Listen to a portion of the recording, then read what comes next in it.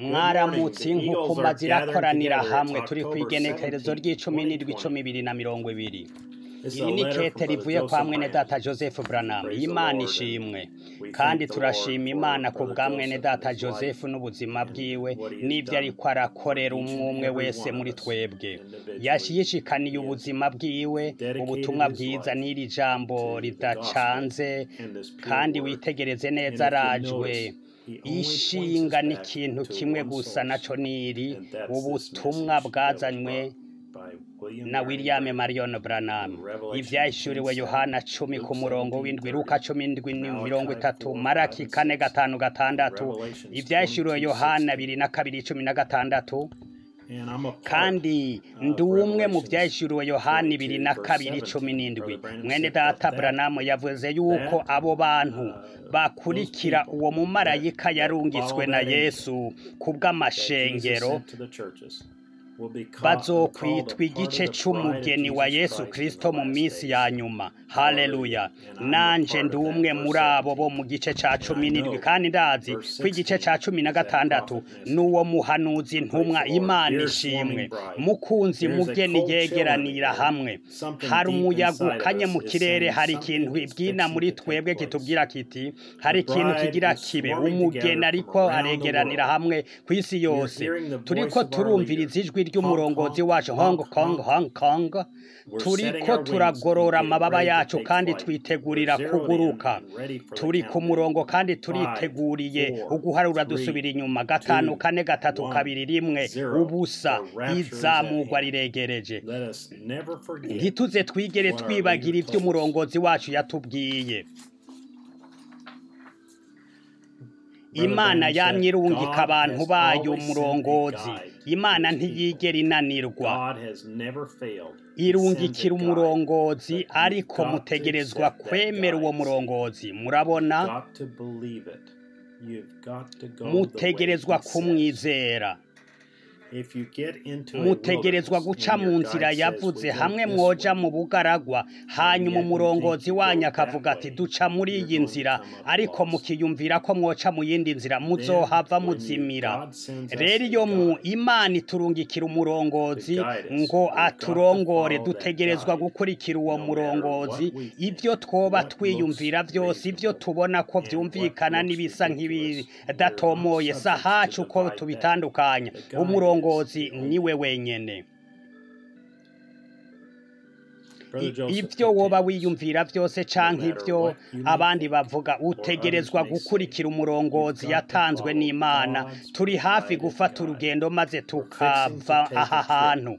twari dukeneye kugira imyiteguro ahandi twosanga tuzimiye. imana yaturungikiye umurongozi.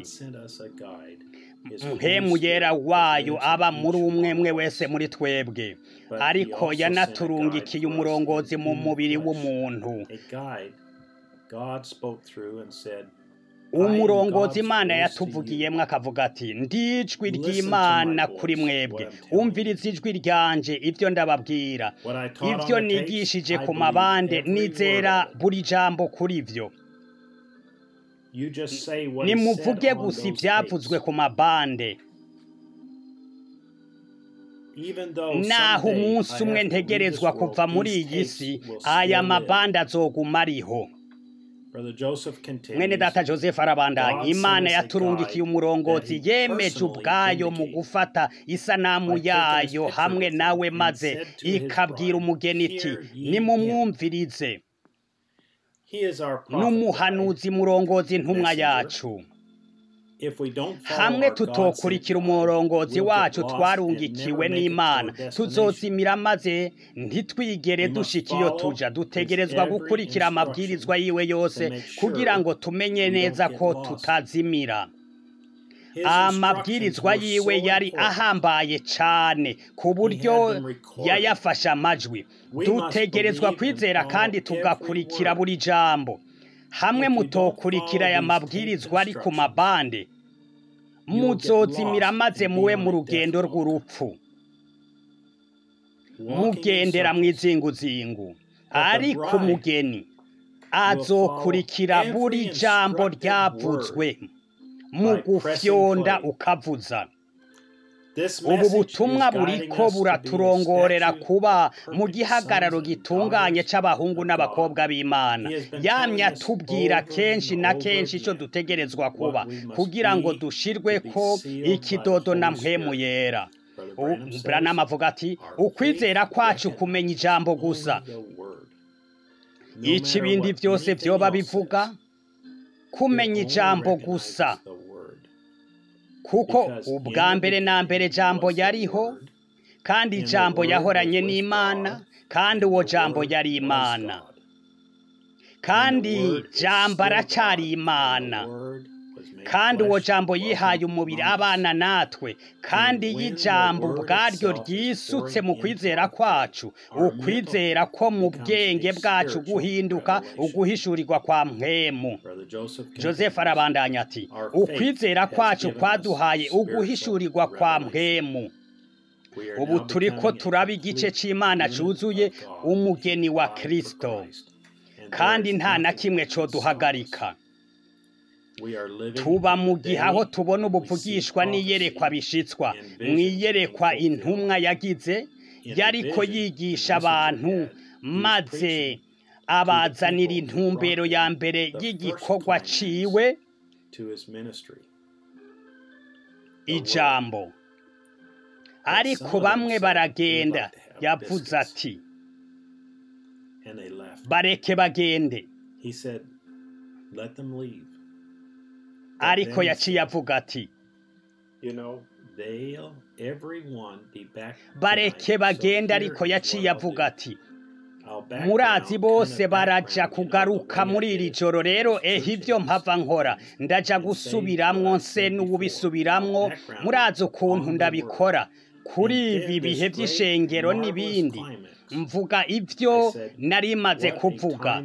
ndaza kubisubiramwo ku ijambo hanyuma rero iyi ntumbero ihambaye nziza cyane. Navuze nti mbega ibihe byiza biza kuba imana ishimwe. Mwene data joseph arabanda nizera ko iryo yerekwa ririko rirashitswa imbere y'amaso yacu. ubu ariko arasubiramwo ubutumwa kandi umugeni ariko aragaruka ku mukunzi wa mbere wiwe ijwi ry'imana. kandi ririko ryungira umugeni hamwe. mbega ibihe turiko turagira? Ndabatumiye. Kwegeranira hamwe natwe kwijigwi ryatanzwe n'imana muri iki gihe maze twumvirize amazina y'amarogotano. Mu itariki zino ukwezi kwa cumi na rimwe mirongo itandatu na kabiri. isaha indwi zo ku muhingamo yo mu masaha y'ijeferisonovi aho data avugira mu ntumwa yiwe maze akatuzanira amajambo y'amabwirizwa. Mwene so joseph branham. Ibyanditswe byo gusoma imbere yo kumviriza ubutumwa.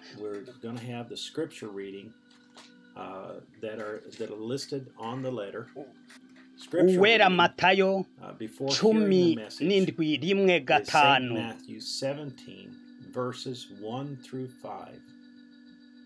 uwera yohana gatatu rimwe gushika cumi na gatandatu.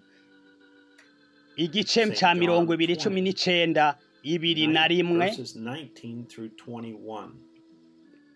ariko rinto ba mbere. cumi na kabiri murongo wa cumi na gatatu. Abanyefeso igice cya mbere umurongo wa gatanu. Igice cya kane umurongo wa mirongo itatu. Icete cya mbere cya timoteyo kabiri cumi na kane. Icete cya kabiri cya timoteyo kane rimwe gushitsa gatanu abaheburayo cumi na rimwe mirongo ine. petero gatanu rimwe gushika indwi. Ibyahishuriwe yohana cumi n'indwi rimwe gushika cumi na gatanu. Igice cya mirongo ibiri na kabiri ku murongo wa cumi na gatandatu.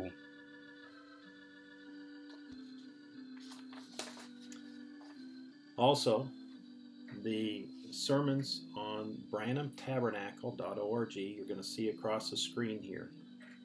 You'll be seeing